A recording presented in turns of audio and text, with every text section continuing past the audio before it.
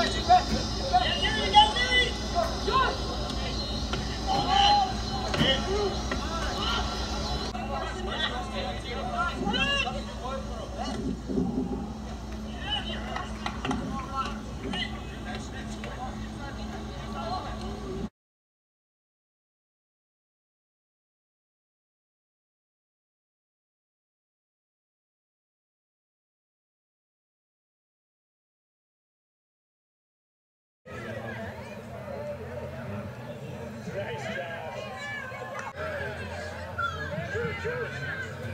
Equalize. Now we've got a whistle and a foul against Garcia. Quickly play.